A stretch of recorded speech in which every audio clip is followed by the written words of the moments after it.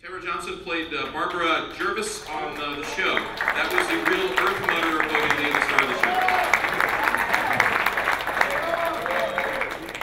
Yes, so I went to when I was in Dallas, and uh, uh, realized that when I got cast, I was the mother of the man, who, of the young man who was going to go off and save the world uh, from all of the aliens, but I had to be back in time for dinner.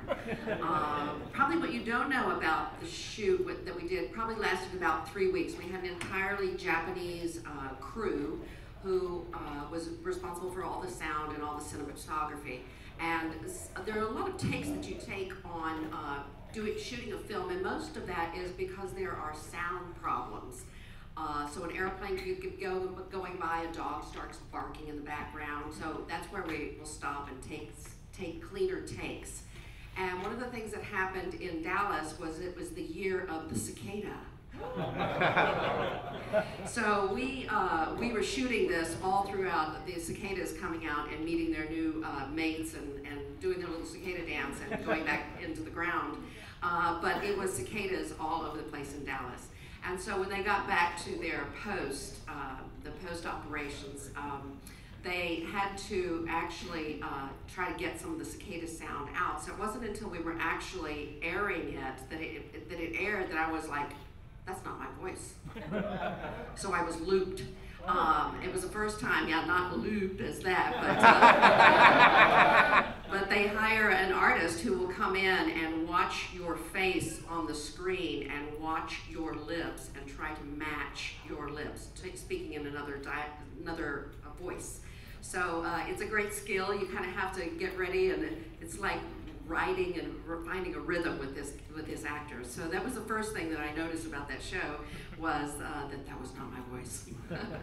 I don't think it was my Texas accent, but uh, there is that possibility uh, that I had a Texas accent I did.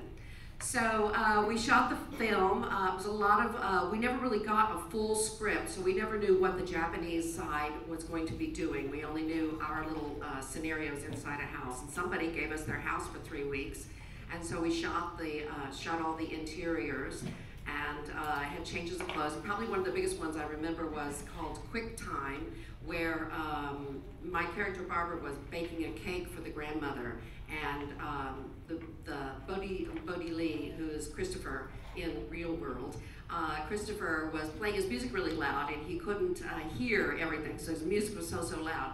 So his mother decides that he's going to stay home, somebody else is going to go to the store to pick up something that she needs for the cake. So he doesn't realize that she's in the house, and all of a sudden he starts to smell this cake burning in the oven. And so he runs down with his music playing really, really loud, and he picks up the fire extinguisher and hoses me down while I'm holding the burnt cake coming out of the oven. So we they covered everything in flour. Uh, the whole kitchen was in flour. I was in flour head to toe. The cake was in flour. And then he had at the very end of this, do you guys remember this episode? Oh, yeah. Okay. So at the very end of this, then Bhodi Li had uh, felt bad, so he went out and bought cake for his grandmother. And he ends up, uh, we're cleaning up the mess, and he goes in and slides on the waxed floor, freshly waxed floor, and ends up eating the cake in his face. so uh, anyway, it was a great opportunity. Uh, we had one uh, director from Los Angeles, company uh, DIC Enterprises out in Los Angeles, so it was great working with them. And then we were learning a lot of Japanese on the set, which I can't remember any now. But um, but are there any questions that you have for Barbara or any of the other characters? Yes. Any chance I can meet Lockwood? I've always my childhood hero. I always want to meet him. Lockwood. Um, he, yes, I don't know where he is right now. Uh, I, I, looked on IMDb. Do you know where he is, Jason? Yeah, um, so we, we tried to contact Chris Lockwood. He's actually uh, changed his name back to his uh, Polish or something name. I know uh, Vinny's trying to record this. Uh, unfortunately, didn't respond to any of our emails or, or the letter that I mailed him, but we did try and contact him. He's actually a, a film editor now in, out in LA. Um, any other questions? Yes. Hi. Do you have any favorite memories or a favorite episode you can share? Um, I remember the the episode also that we did where we were all dressing up for a PTA event, and so the guys are dressing up as the girls, and uh, I think uh, Kathy, the young daughter, was dressing up as a swami, and I have no idea what I dressed up as, But I remembered that the guys were coming in, and Bhodi, Bhodi, uh, Christopher didn't want to go and you know put on a girl's outfit. He comes out with this blonde wig after all, and this big evening gown. Um, so that was a fun, fun uh, event. And anything else? Yes, hi. Did you ever play Photon? Did I ever play Photon? Yes, we played some in the, uh, when, we, when we did the actual shooting. Uh, there was one episode where he goes off while we're all supposed to be having a family event. So we did play some Photon. Um, I didn't play a lot of it after that because I got married and moved off to Virginia uh, in 85. So, um, but my son played laser tag many years later.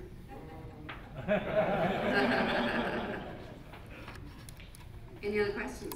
Well, I just want to say it was fabulous to be here, and uh, I always think that Photon was the precursor to Power Rangers uh, and all of their battles that they had. Um, I think it's kind of funny that my son actually had a babysitter who was the Pink Ranger, uh, Erin. Yeah, she was a Pink Ranger. He thought that was so cool. His babysitter was a Pink Ranger, so he was always partial to the White Ranger. But uh, anyway, thank you very much.